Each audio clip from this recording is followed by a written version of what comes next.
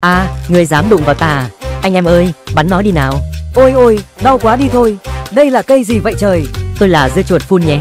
Bạn mới vừa đụng vào tôi, mau xin lỗi đi. Đừng quá bận tâm nào, khi có ngoại lực tác động vào chúng tôi thì việc phun hạt như vậy sẽ xảy ra. Đây cũng được xem là một trong các phương pháp giao hạt của loài chúng tôi. Nếu thích hãy like, share, subscribe ủng hộ team mình với nhé.